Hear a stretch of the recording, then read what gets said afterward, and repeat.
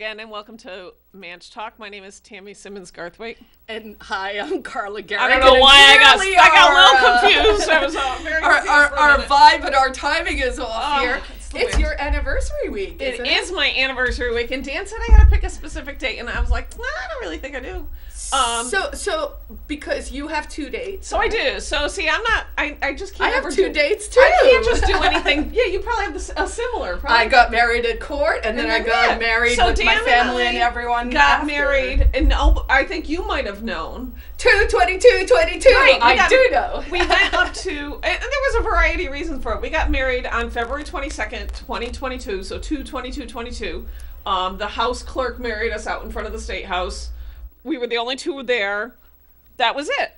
Nobody, pretty much nobody knew. I think you knew. Um, And I, I remember one knew. because it's my dad's birthday, and two because it had that beautiful Mm-hmm. rhythm to it. And so Louis and I spent the entire morning arguing because I was like, it was last year, and he's Yes. like, it was two years Isn't ago. It, doesn't feel like It doesn't feel like last year. It so that yeah. was part of the reason why we didn't tell people is because then we also got married, said our vows and everything um, on the beach in Florida, and that was on a- April 7th, which is funny because up until a couple days ago I thought it was April 5th. So, you know, like, what do I know? Only reason I noticed is I decided that every day this week, because this, Dan's like, you're so weird. I go, so this is my second first anniversary. like, and I go, well, it should be a week, right? Why not? And then when I went on Google Photos, I was like, I'm confused because, you know, sometimes the dates get screwed up and people share photos with you. And I'm like looking, and then I was like, wait, I gotta go back and look, and I'm like, oh, it's the seventh because Ah. it was supposed to be the fifth, but that was the But day of the storm. Yes. So, anyways, every day I've been posting um, Well- reminders of our because we had like 15 people that Carla. It was it was a great trip, and honestly, I mean, I just genuinely can't believe it was only a year Yeah. ago. It feels. I mean, I, know. know they say this is what happens, when we like get older, time just condenses but it or does, and- something. but and I uh, can't believe I didn't go to. Flo- We didn't go anywhere south for this winter. I don't know. It just I couldn't pick something. Like nothing was coming together and didn't. Right. Nothing had the right vibe. So I already though a couple of people that were with us last year. Not that it matters to the, you at home. Um, are like, so are we gonna do that again? And I was like, oh, I could do that. Oh, we could So, do a little. Like, every other. like, Look, Dan goes. I go. How about every other year? Dan's like maybe once every five years. So we'll see. yeah. We might put some feelers out. See who's Oh. interested. See who's interested and who. Who. The problem is when you have friends, everybody doesn't have the same budget. Yeah, But that's no, okay. No, that's true. So I do want to say a few Yes. things before Yes, I before we forget. start. Or yeah. So uh, first of all, there is a um, Saint Anselm actually is going to be doing the NBC documentary Oh, nice. on uh, the Live Free or Die.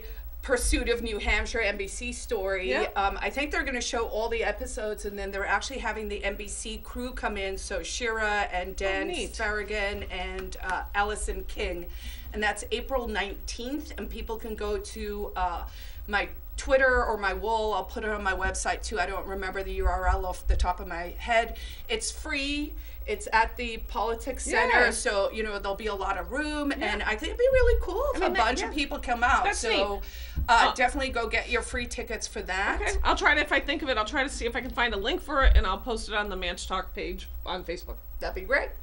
Maybe. um. You, what, what else you got that before I start Oh. yapping? No, start yapping on Okay. the, the budget. I mean, there's just there's so much coming up Well, that there's I'm like, almost uh, like yeah. wow. So tomorrow, Thursday, the whatever sixth, um, the House will vote on the state budget. Now, keep in mind, the Senate has their version of the budget.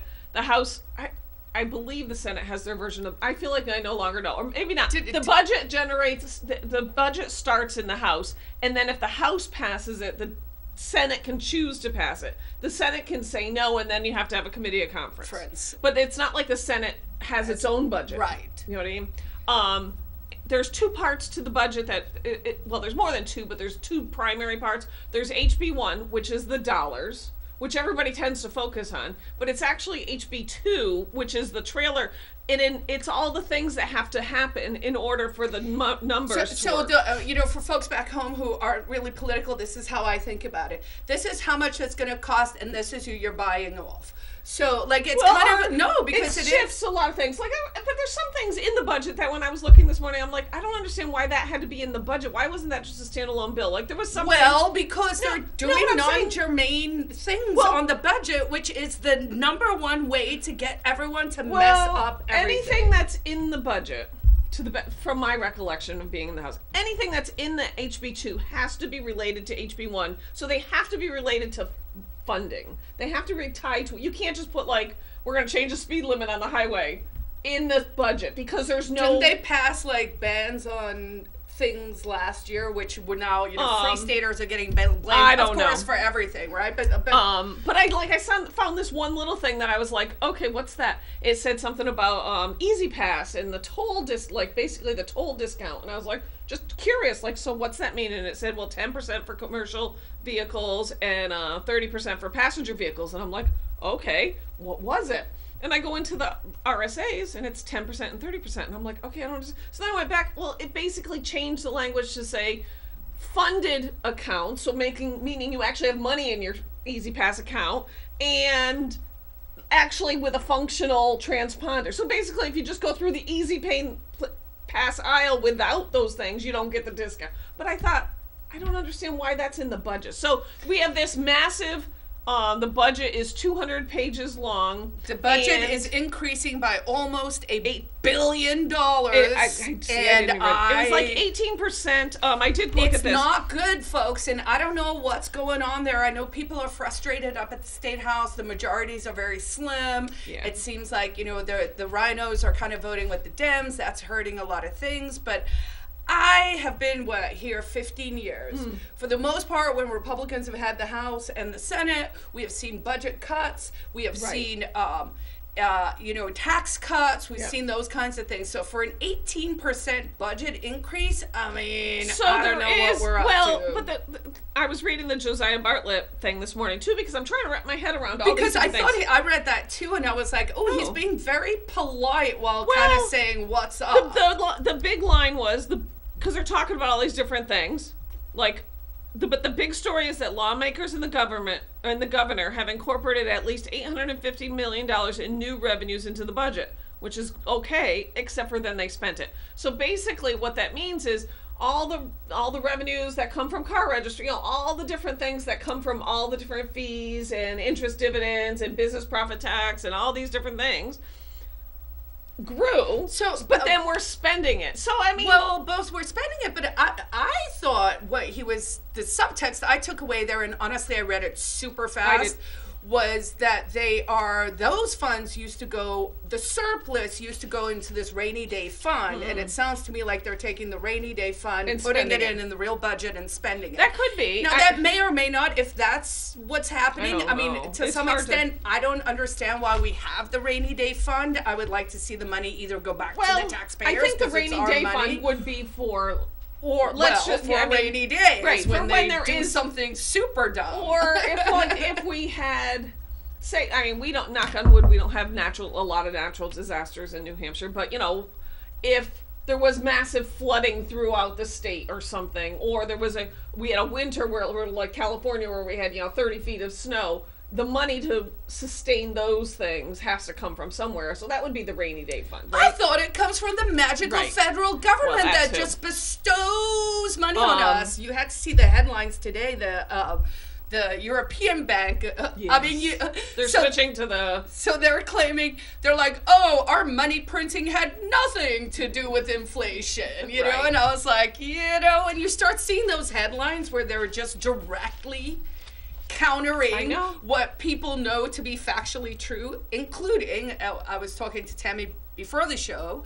I just saw a horrendous, like a really offensive and egregious uh, uh, political uh, fact check.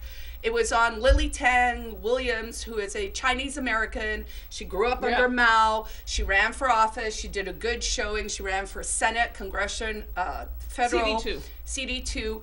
Awesome, amazing lady who has a lot of stories to talk about. You know, communism, cultural revolution, Yeah. Mao, what happens when we lose free speech, and all of that. And she shared a meme that was a photo of the shoes that you've seen from the Holocaust, where it's the shoes of the Jewish people who were murdered in camps by their government. And um, and it says something about the shoes and that gun control is a, a, a contributing factor to these kinds of mass murders, mass killings by the state. And the the fact check on it was like this isn't true. says literally um, there is no correlation between gun control and the Holocaust. And I'm like, excuse me. Right, So that's that kinda a just a direct, blatant censorship, BS lie, and I can't believe they're getting away with it. It's, it's Um, really insulting. State okay. Couple budget. A couple things. I mean, these are not. I'm not saying I'm, these are good or bad things. These are just some takeaways. There's 99.6 million dollars in pay raises, which sounds crazy, but the problem with the state government is the the salary. They they're like over a, many years where normal inflation was 20 percent. Their raises have only been like five percent. So, can I also, Yeah. because I did read that number and I was like, oh, isn't it interesting when they want to give raises to government employees, suddenly we see the true Mm-hmm. I inflation know. rate at 20%. But when we're arguing with people about money printing and where it- yeah, inflation comes from, right. they're like, oh, it's only 6%. Right. And I'm like, well, pick a lane, because Right. you can't like lie all the time because we can tell. Right. So that was interesting, and I mean, at first, you know, at first that would probably make me go, "Oh," but then when I started looking at some of the specifics, Yeah, I actually read that. So, and we have a lot of like Shortages. shortages. It's like in the correct, you know, I mean, we can argue about whether we think the jails are too big or too many people are arrested, but if the people are in jail, there's got to be a, you know, you got to have people working, you got to have people plowing the highways, you know, there's things. Well, you know, government, there's an app for that. If we actually got the regulations out of the way, then enterprising young people who want to build a business and want to do something cool could come and do that, not the on the incarceration so that side. would I'm like okay so um um so there's a front page article about Medicaid expansion because the Senate um voted unanimously to expand Medicaid expansion permanently. if only we had better Um, senators. So uh, we um and I said unanimously, so I don't know. I'm gonna have to go back and look at that. well, I know Um, Keith Murphy voted for it. so there must I'm have been something about that. So, um, without knowing what else was in the bill, I'm I agree with you. I'm like, what? So, one thing that is in tomorrow's um, HB two is a sunset date for Medicaid expansion, and I believe it's 2025, but don't quote me on that. So that's a one of these things that like people are. I have friends who are state reps, and they're like, ah. I don't really like it, but I know I got to do some things, and I only way we're gonna get this is we're gonna. So I know that game. I've been there. It's not an easy thing. Um, the one of the things that I Which is why it's better not to have the horse trading in the budget because the horse trading in the budget is how you get more malfeasance. Um, and I guess I thought about it. I'm like, why don't we? I, I've always had a thought. So you have a two year uh, election, two year cycle when you serve. I used to say after serving up there, I thought that the first year, which is the year we're in right now, should only be the budget. Ooh. Only because part of the problem is is this. But I mean, these people literally just got the the uh, the budget last week, and now you're supposed to vote on a 200. It's a lot to digest from all these different departments. So what I would have uh, liked to have seen was say You I spend would- a year doing the budget, and, like really and break mindful. down the sections of the budget to because to the, strangely, to the different committees. So as a I served on the labor committee, we would look at the budgets for um, the labor department and the Department of Employment Security, right? And then I guess weights and measures is under like so you'd look at that that committee would look at those things and parks uh, fish and game would look at the the parks budget and all these things as a preliminary so that you could have it'd be like we recommend to the finance department that we mm-hmm. do this. And then you would have the finance committee that would take all these moving pieces and say okay we, yeah this would work because of this. And you'd have ways and means in there. Well, you would also then, you know, to, to the point that Ian Underwood was trying to make in Croydon, uh, instead of it being sort of extortive in the sense, if we had a budget, then you know how much money you have to spend. And then in the second year, Yeah. assuming that's where Then we you bring the bills in, you- you're like, well, well, do we have money for these magical things we and I really, mean, really You'd still have the you'd still have the trailer bills because you'd still have to be able to enact it. But I think there'd be 400 reps participating more directly Yep. in the areas of the budget that they're more familiar with. I also had a brilliant idea when I parked my car this morning. I was like, you know what we should do in America? Every 20 years, every state should vote whether they still want to be in the union or not. Everything, everything Because should have no, a but think about it because that actually creates like an incentive to, To be like it. to keep to to to to have a healthy system, Yes. right? Yeah. Because then you know, and people could do it on their- their own timelines. Maybe they stagger it so it's not like this massive thing, you know. But I was like, oh, that would probably like solve some problems. I might even make it every ten years, and that way, you know, you kind of check in with your federal government, and you're like, are you too big? Are you serving our purposes? Are you just making all the insiders from Congress rich? Did you see these latest numbers? They go in, they're making like. Hundred and Oh, and then they seventy-five end up- no, they thousand end up- dollars, and then in two, three years, they're worth like three hundred million Yeah, dollars never or right. thirty-six million dollars. I mean, it's so corrupt. It is just blatantly in front of us, and we shouldn't have to take it. So another interesting t- piece of that I'm going to watch the time is um, the which I I also don't disagree with whether I like it or not. Um, the state adequacy numbers for education. There is a formula. There are numbers that is what constitutes because of the Claremont decisions what an adequate education is. Um, they increase and they probably should because costs go up. So the base goes from um, about thirty five hundred and sixty dollars to 4,700. So that's per student. Now, um, free or reduced lunch, they get an added. They used they currently get an added seventeen hundred and eighty dollars. That goes up to twenty five hundred. So that means that the districts that have the poorer communities and the poorer students who are more likely to need more serve more more get a little bit more. Um, English language learner goes from about 700 to 800. So I'm like, okay, So one thousand two hundred per student for the meals. What was not that to number? pay for the meals. Okay. It's an added. This is what Part of the budget. A, a part of the But per student? per student. So you could.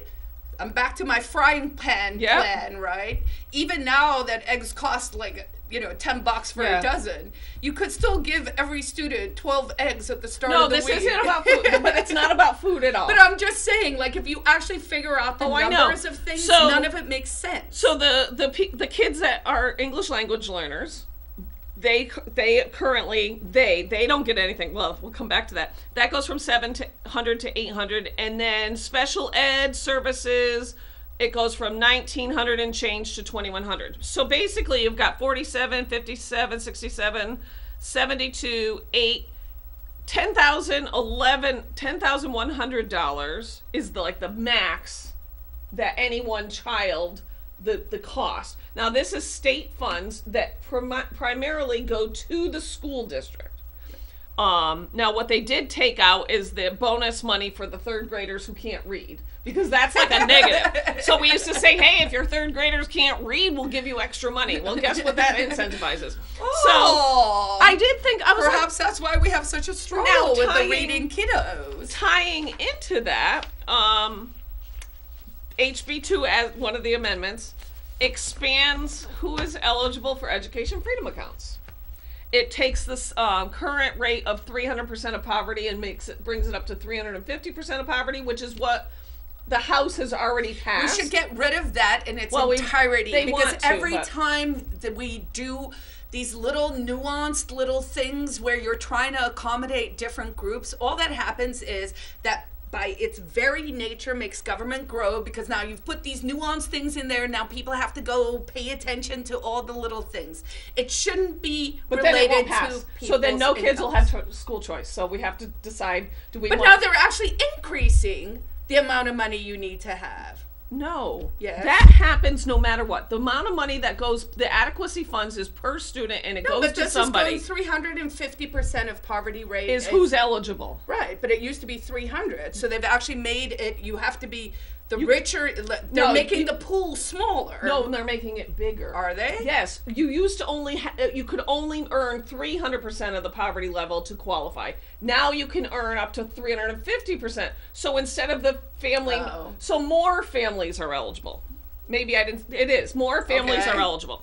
Then in addition to that, there's all these things that this already passed the house as well. Um, allowing kids in foster care, kids who are in military there's like a whole whole bunch of criteria that allow those children to be eligible for education freedom accounts as well because they if you're bullied if you're or if there's a thing in here if you if your district is one of these schools that is way underperforming your kid is now eligible for an EFA so it is expanding the pool of children that would be eligible to take all those state dollars that go to the Instead district and go to a different school Special interests. Just make a program. Let the fo- money follow the child, but and that'll let never pass. everyone do what they want. that won't pass.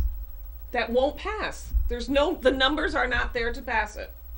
We have a, like a split house. It's not there. So yes, if we had another supermajority Republican legislature, but then what would happen is the next year the Democrats would be in charge and they do away the, with the entire program. So the best way, in my opinion, is you do incrementally just until everybody can That's finally what I think about buy into the concept that kid, that parents can make the decision and it isn't going to bankrupt the world and the schools aren't going to you know yes schools public schools will get smaller and that's okay so And if you don't want them to get smaller, make them better. um interesting little sidebar on the state house. Um democrat rep from enfield his name's josh Adjutant i think is how he says his name. He was like um he's the deputy majority floor leader for the democrat party. He resigned the other day and i was like what Mm, I happened? wondered about yeah that. um i've heard i i know somebody who knows somebody and whatever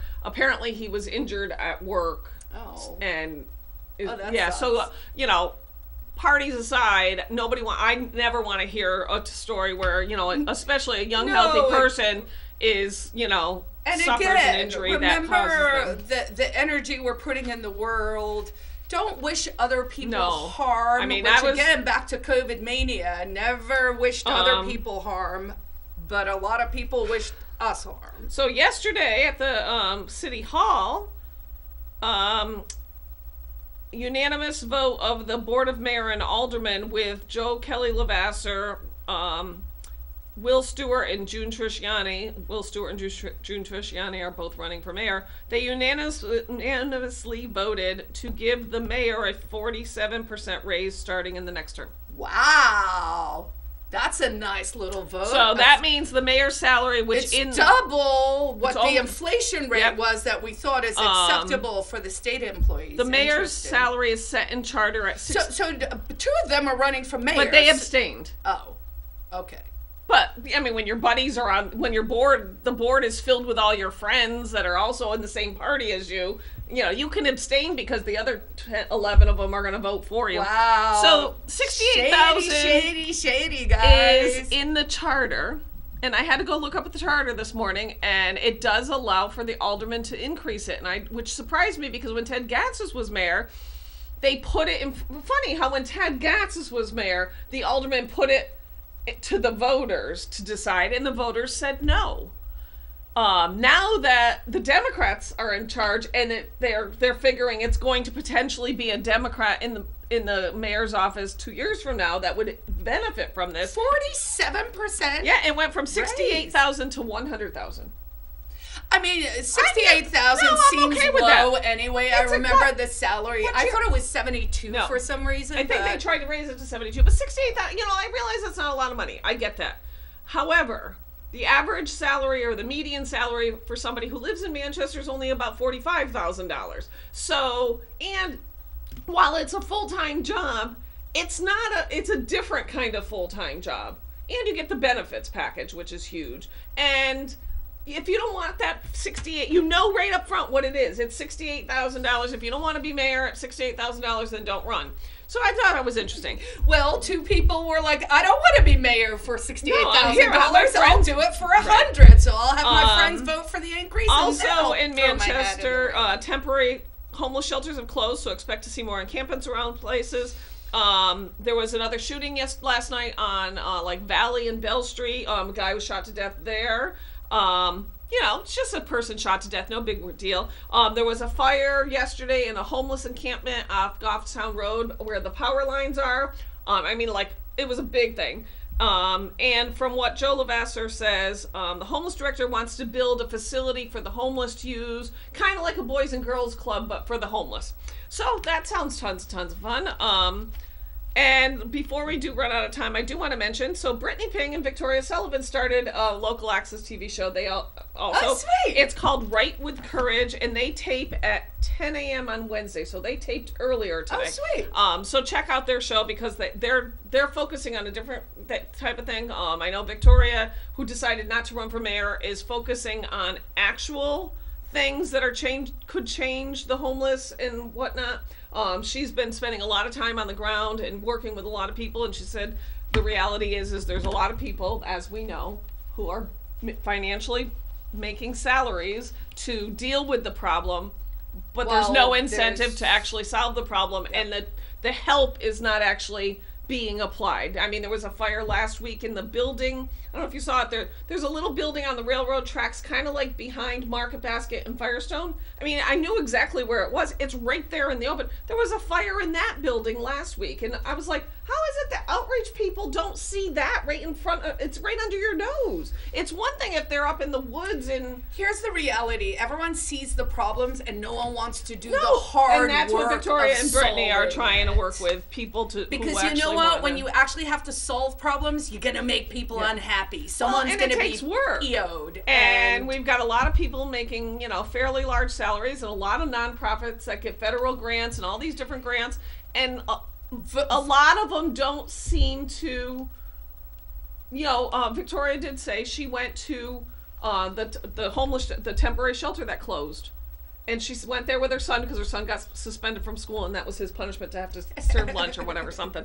But she said they walked in she goes and the workers were in the back of the room on the computer looking away you know facing away and she goes and we're there the whole time and nobody's interacting with any of these homeless people and she thought i don't know they're all right here in the building isn't this where you would want to do, do things. stuff. Yeah. so i don't know Anyway, so I actually think oh that's interesting. I did not know about Victoria. Yeah. So um that that'll that'll be fun that'll be interesting. I mean, I actually think that we could expend more time and energy actually trying to concretely Yeah. fix some of these problems. Um, and you know, candidly, it's a lot easier to be a gadfly than it is to oh i actually know run trust me stuff. I, so I, i've tried all the haters, I'm going into gadfly mode. It's just easier sometimes. Anyways, that's all we have time for this week. Um, weather is coming up next week. It's going to be in the 60s most day. I think by next weekend it's 70 degrees. So ignore the cold weather today. It'll get better. uh, that's all we got. We'll be back next week. See, you you guys. Take care. Bye.